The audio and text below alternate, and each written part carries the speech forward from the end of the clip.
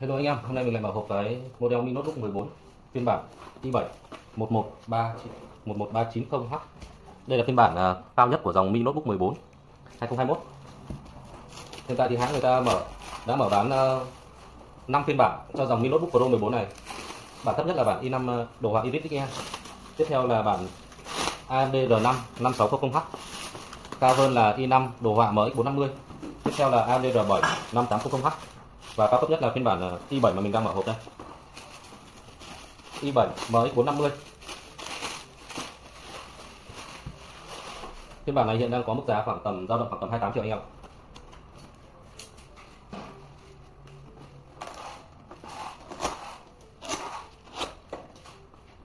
À trước khi ờ, mở hộp model này thì giới thiệu với anh em miếng lót chuột hôm nay tự nhiên ra store thì hãng người ta có tặng cho một miếng lót chuột chính hãng của Xiaomi. Thời đầu rất nhiều anh em đặt mua cái miếng lót chuột này nhưng mà không có. Thì hôm nay vô tình mình đã được hãng tặng, không hiểu vì lý do gì. Hôm nay không phải sinh nhật của mình mà hãng người ta đã tặng miếng lót chuột. Sờ rất là sướng tay anh em ạ. Rất là êm. Cả hai mặt và người ta có làm theo cái dạng là như kiểu cái ví ấy. anh em có thể vừa lót chuột vừa nhét tiền bên trong thoải mái. Cái miếng này thì người ta tặng thôi chứ mình đặt bên ngoài không có đâu anh em hãng người ta không bán rộng rãi cái miếng lót chuột này. Nhân một cái dịp nào đó thì người ta tặng. Chứ hồi đầu mình cũng đã tìm mua nhưng họ không bán không bán lẻ ok cũng giống các cái ờ, con mini Notebook 14 khác thôi. Cách đóng hộp tương tự không có gì khác cả. Ở đây người ta tặng cái adapter chuyển đổi từ ờ, cổng Type C sang cổng Type A và HDMI vì sản phẩm này thì chỉ có cổng Type C thôi anh em ạ.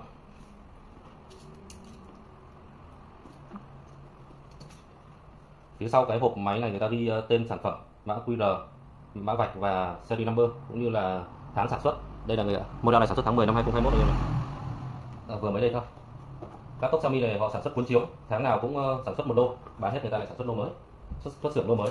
Model này màu bạc anh em nhé hiện tại chỉ có màu bạc thôi không có màu xám như trên Redmi Book 14 hay là Mi Notebook 15 đâu. Mình để qua một bên đã. Đây là bộ phụ kiện của máy. Trong đây là sách hướng dẫn và một cái ờ, khăn có chữ Xiaomi để giúp anh em ờ, lau chùi vệ sinh máy. Đây là phủ sạc nhanh C2C có công suất là 100W anh em nhé. Công suất tối đa là 100W rất đẹp. Cá nhân mình rất thích cái, những cái củ sạc như này, nhìn nó sang trọng và nhỏ gọn như củ sạc của điện thoại vậy. Còn đây là cổng ờ, đây là cáp ờ, C2C cáp này dài mét hai anh em ạ. Rồi, tạm thời bỏ qua. Em đi vào nhân vật chính.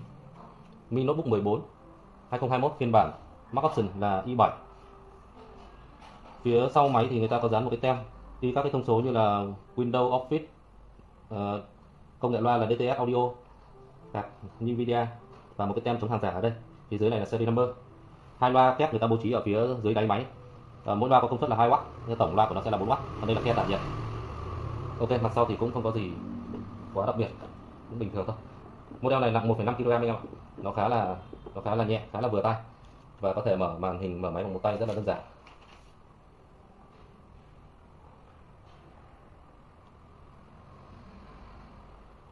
Có vẻ như đã hết pin. Hãng người ta sạc hết pin rồi anh em ạ. Nhân tiện thì mình sẽ test luôn cho anh em cái tốc độ sạc 100W trên ờ, model này nó nhanh đến mức độ nào. Theo thông số của hãng người ta giới thiệu là sạc trong vòng 56 phút sẽ đầy pin từ 0%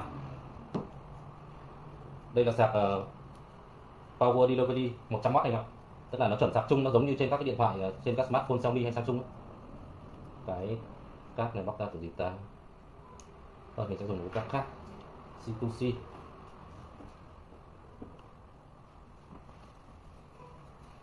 C2C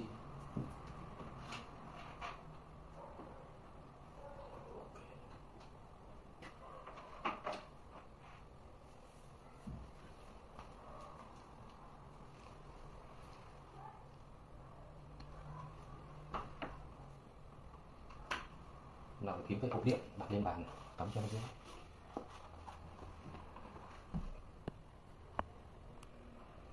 Rồi.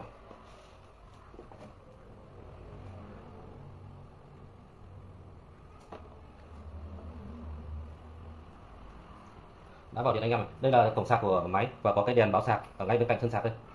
Cạnh đó là giáp 3.5 cạnh đó là giáp 3.5 phía bên phải này thì có hai cổng tai C Thunder 44 và cổng tai C USB uh, ờ, tai C 3.1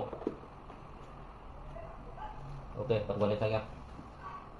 Ở mặt trước này thì mình rất thích Xiaomi bởi vì họ không dán các cái ờ, tem quảng cáo hay là uh, quảng cáo cho hãng hay là cho cho Win hay là hay là cho các cái thương hiệu phần cứng như trên ờ, Lenovo hay là Dell hay là HP, họ dán chi chít lên trên đây nhìn rất là xấu mà không em bóc ra. Ở mặt ờ, ở cái phía trước này thì họ chỉ dán duy nhất một cái logo, một cái tem Intel Core i7 thôi. Và anh em hoàn toàn có thể bóc ra, nhìn cho nó đẹp. Đây là phiên bản Core i7 11390H như mình đã từng giới thiệu thì gần đây hãng người ta làm mới làm các laptop và người ta nâng con chip lên. Nâng chip lên từ ờ, i7 11370H lên i7 11390H và người ta đặt tên nó là Enhanced tức là phiên bản nâng cao. Cái tên gọi chính chính xác của model này là Mi Notebook Pro 14 i7 Enhanced tức là i7 đời nâng cao chứ không phải, chứ không phải i7 như ờ, một vài model lần trước mình đã mở hộp đâu. Và đến phiên bản này thì hãng người ta cài luôn cho mình Win 11 rồi. đây là giao diện của Win 11 tuy nhiên cũng là Win của thị trường Trung Quốc thôi Win 10 hôm của thị trường Trung Quốc thôi và anh em không thể thay đổi được ngôn ngữ cũng như không thể can thiệp được vào hệ thống của máy đâu. Lát nữa mình sẽ cài một phiên bản Win ờ, Global Win 10 ờ, Win 10 Pro Global hoặc là Win 11 tùy theo nhu cầu của anh em hiện tại thì cái Win 11 này nó mới chỉ là beta anh em nên nó nó chưa thực sự ổn định và tương thích tốt với mọi mọi driver mọi thiết bị đâu. Tốt nhất nếu mà anh em dùng những cái công việc mà yêu cầu sự ổn định cao để có thể dùng ổn định được luôn dùng được luôn ấy, thì anh em nên tải về Win 10 Pro. Nó sẽ tốt hơn ở thời điểm này còn theo thông tin mà mình biết được thì Win ờ, 11 sẽ được ờ, ra mắt chính thức vào khoảng tháng 5 năm 2022 thì lúc đấy sau khi họ ra mắt chính thức rồi, anh em ờ, lên sau cũng được. Chỉ cần cập nhật OTA ngay trên laptop là có thể lên được rồi. Không cần phải tải Win về nữa. Một một, hai, ba, bốn. Model này thì cũng có ba cấp độ đèn nền bàn phím. Một là cấp độ sáng nhẹ. Anh em bấm thêm một nấc nữa thì nó sáng mạnh hơn. Và bấm một nấc nữa thì là độ sáng auto, tùy theo môi trường. Bấm lần thứ tư thì là tắt.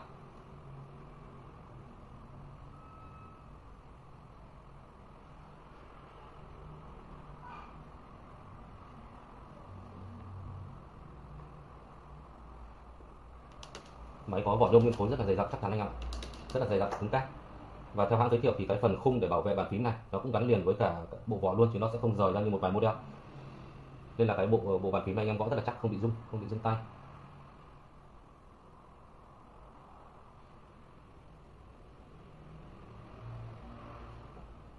Về các thông số kỹ thuật cơ bản khác thì model này nó sẽ gồm có RAM 16GB DDR4 ổ cứng SSD 512 PCIe M2 màn hình 2.5K HD IPS và có tần số quét là 120Hz Ủa, đoạn này sao ta nó bắt buộc phải đăng nhập à?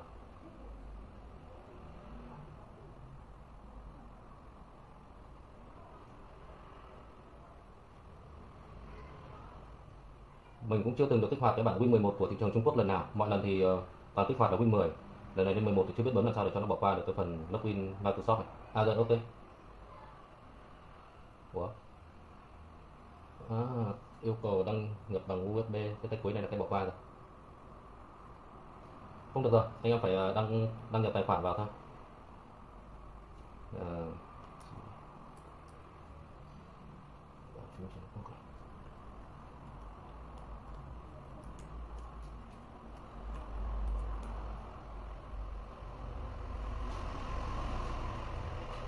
không được rồi nó lại gửi OTP vào đây đăng nhập một tài khoản khác phải có một chỗ gì đó để bấm bỏ qua chứ nhỉ? Không có cho mình bỏ qua. Copy vào ừ, đây xem Outlook số điện thoại. Ok, chơi số điện thoại đi. Cộng 84 969 62 920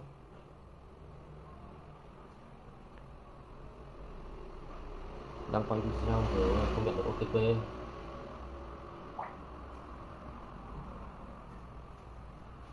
đầu có kích hoạt máy cũng khá khó khăn anh em ạ, vì nó toàn tiếng Trung Quốc thôi. Không biết phần nào là phần bỏ qua.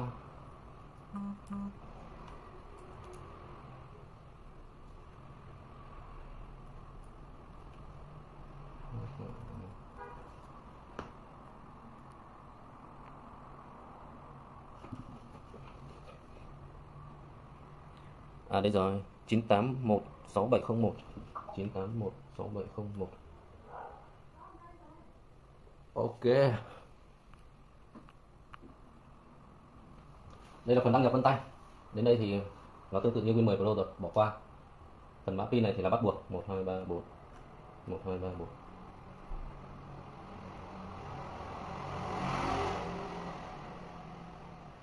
1 2 3 4 1 2 3 4 What? Có thể có ký tự chăng? Không phải. 1 2 1 2 1 2 1 2 Ok, rồi như vậy ở cái phần đặt mã pin này thì họ yêu cầu anh em phải đặt à, một cái ký tự nó ngẫu nhiên. Vừa rồi mình đặt là bốn số 0 tức là các ký tự liên tiếp nên là họ không đồng ý. Bỏ qua đi.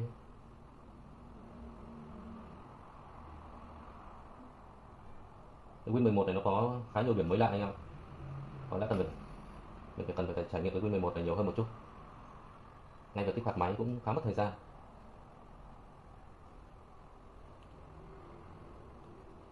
Màn hình này có độ sáng là 300 nit. Nó là một trong những độ sáng khá là tiêu chuẩn cho rất nhiều ultrabook của những năm gần đây. Ngồi trong nhà thì thường mình chỉ dùng đến tầm khoảng 50% ban đêm thì khoảng 20 30% còn nếu mà ra ngoài trời sáng hoặc là trời nắng thì anh em mới cần phải tăng mắc sáng lên thôi.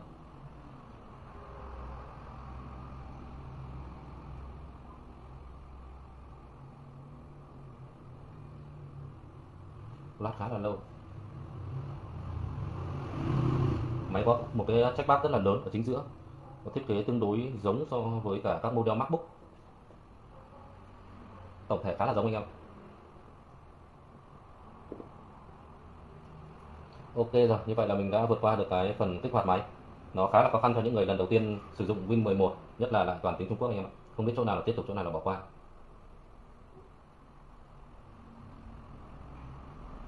Tốt nhất ờ, anh em mua các cái dòng laptop Xiaomi này thì nên để cho bên mình bóc hộp và cài luôn Win ờ, quốc tế và Office tiếng Anh hoặc là tiếng Việt và mình sẽ kích hoạt bản quyền vĩnh viễn. Anh em về chỉ việc dùng thôi. Chứ đâu có mò mẫm ở cái phần khởi động này nó đã rất là khó khăn. Thì việc tài Win cho các model laptop Xiaomi này nó cũng có một vài điểm hơi khác khác một chút so với các ờ, so với các dòng như là Dell, Lenovo hay là HP bởi vì uh, Xiaomi này ở trong uh, BIOS của họ họ sẽ khóa cái phần điều chỉnh Secure Boot. Tức là mặc định họ sẽ luôn bật on. Và do đó khi anh em tải các cái bản Win mà nó nó không chuẩn nó không chuẩn cho cái model này thì sẽ không thể boot được lên đâu. Ok lại chúa đã vào đến nơi rồi. Để mình sẽ kiểm tra phiên bản Win của máy là họ cài cho mình phiên bản gì? Mình đoán là Win 10 hôm như à đoán là Win 11 hôm. Ở đâu ta? À Win 11 ở trong đây cơ. Đây, phần thông tin. Rồi, ok. Mình sẽ tăng sáng lên một chút.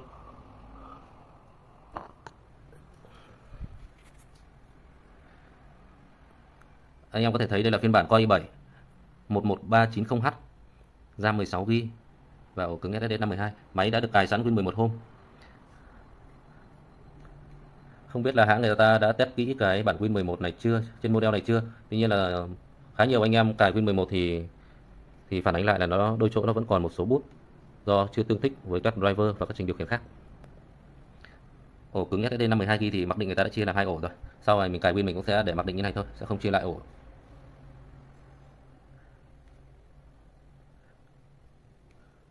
Ờ, à, test thử cho anh em quả la này nó có nó có hay hay là kém so với cả model ờ, Mi Notebook 15 không nhé cái trình duyệt mặc định của Microsoft này khá là cùi bắp anh em ạ. Khuyên anh em là việc làm đầu tiên là phải tải Chrome về dùng cho nó quen thuộc. YouTube what? Toàn tiếng Trung enter phát xem nào. Youtube.b là cái gì này?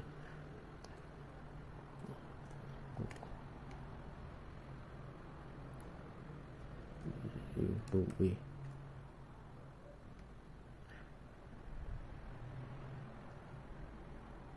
uh, satu mana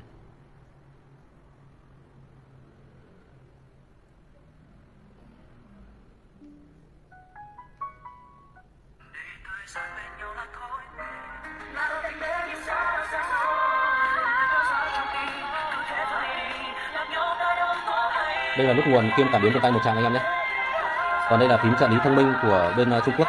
Thì cái phím uh, thì cái trợ lý thông minh của Trung Quốc này người ta toàn nói tiếng Trung Quốc thôi anh em cũng không thể dùng được đâu.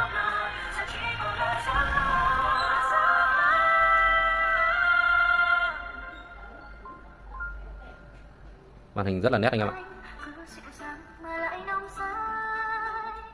Ok cái quả loa này thì nó chỉ đủ nghe thôi ạ. Không quá to và cũng không hay. Thuộc mức độ khá thôi. So với các laptop uh, cao cấp thì quả loa này chỉ khá thôi. Tuy nhiên là đủ dùng còn anh em nghe nhạc thì sắm một cái loa bluetooth thôi. Mình sẽ đi lại một lượt để anh em quan sát cái thiết kế của máy.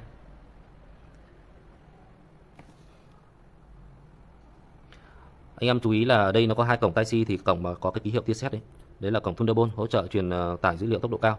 Còn ờ, cổng không có tia sét thì là cổng USB Type-C 3.0 ờ, thường thôi anh em ạ. Loại loại phổ thông thôi.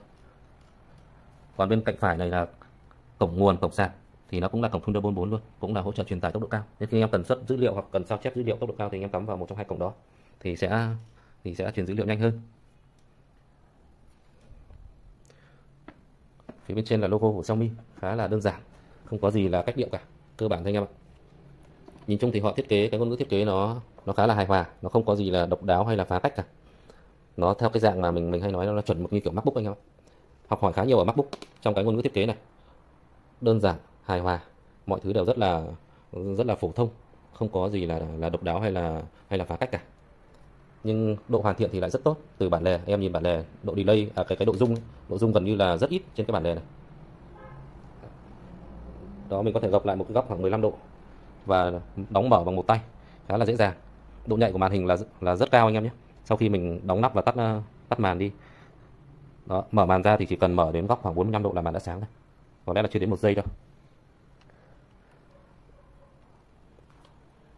Ok, giới thiệu với anh em sơ qua vậy thôi. Hiện tại anh em ờ, hiện tại model này thì có các cái mức giá như mình, có các cái ờ, phiên bản như mình vừa giới thiệu đó. Và mức giá nó sẽ dao động từ khoảng 23 triệu đến 28 triệu. 23 triệu cho phiên bản thấp nhất i5 Elite XE hoặc là AMD R5 và khoảng 28 triệu cho phiên bản cao cấp nhất là i7 R7 thì nó sẽ rơi vào tầm khoảng hơn 25 triệu anh em ạ. Anh em có nhu cầu ờ, order model này thì liên hệ với bên mình qua Zalo, số điện thoại là 0969 629200 hiện tại bên mình nhận order cho model này, chứ hàng là không có xong đây là mở hộp và cài Win cho một khách đã đặt hàng từ năm hôm trước anh em ạ rồi, chào anh em. Hẹn gặp lại anh em trong một video video tiếp theo, giới thiệu về các sản phẩm của Xiaomi cũng như là Realme hay OnePlus.